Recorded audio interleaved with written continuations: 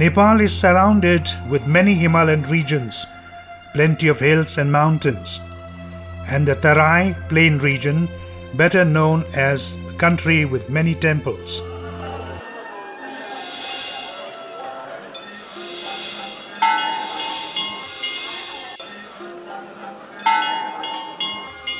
Kathmandu is the capital of Nepal. Located in Kathmandu also is the holy Pashupatinath temple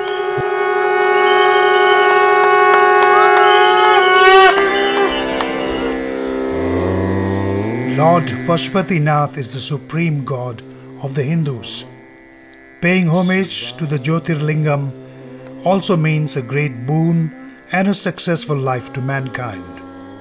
While paying homage to Lord Pashupatinath, one has to pay homage first of all to the shrines of gods and goddesses outside the Pashupatinath temple, or one can directly enter through the south gate of the Pashupatinath temple and pay homage to 64 lingams.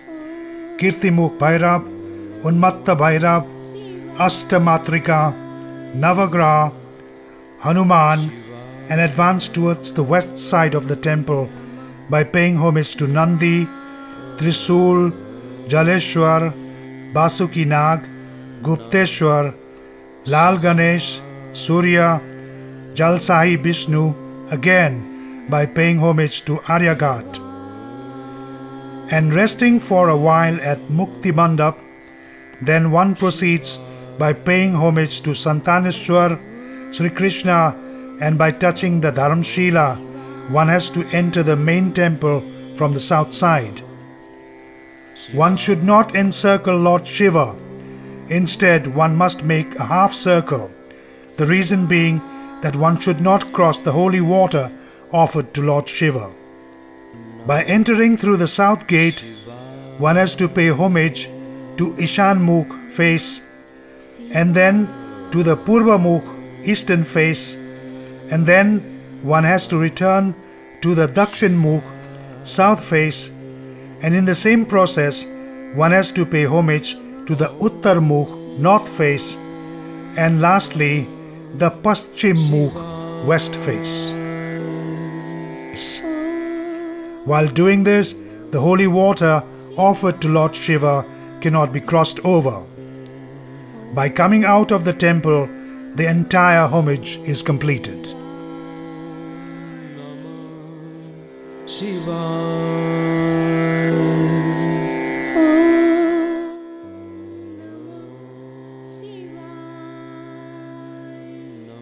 This Pashupath region is filled with various art and architecture, small temples and idols of gods and goddesses. The wall and the wooden frame of the temple is decorated with artwork where different forms of Lord Shiva can be seen. A big embodiment of the bull made of brass can be seen in front of the main gate of the temple. The sacred Bagmati river flows by the temple, and the water of the river is offered to Lord Shiva as pure jal or holy water. Hindu people celebrate Mahashivratri festival by performing puja, paying homage to Mahadev, Shiva, or Rudra, same names of Shiva. The auspicious day of Shivratri in Pashupatinath temple begins with thousands of devotees, pilgrims from different parts of Nepal, India, and from various countries, including sadhus and saints, arriving to the temple. Locally known as Falgun Krishna Chaturdashi. Devotees start their festive activities from early morning in the day and at night.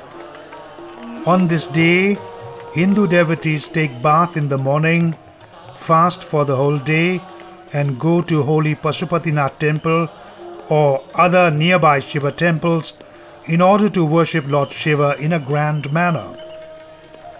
On this auspicious day, there's always a huge crowd of devotees in every Shiva temple in Nepal.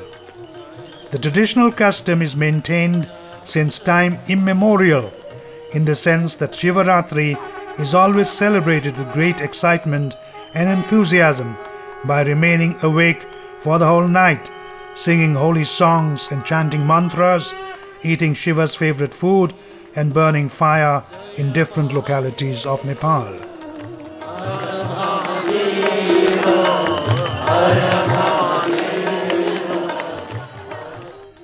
There is always a long beeline of devotees during the Shivratri festival at Pashupatinath.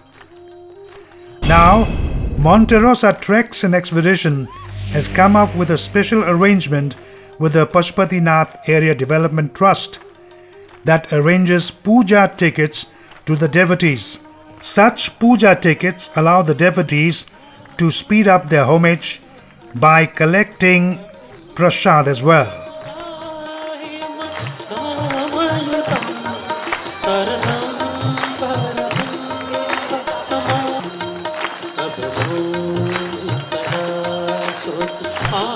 Such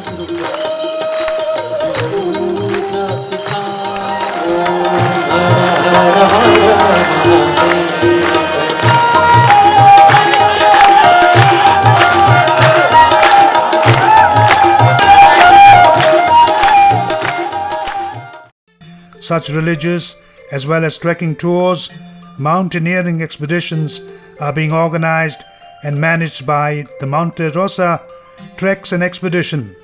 We hope to operating similar unforgettable trips in future as well.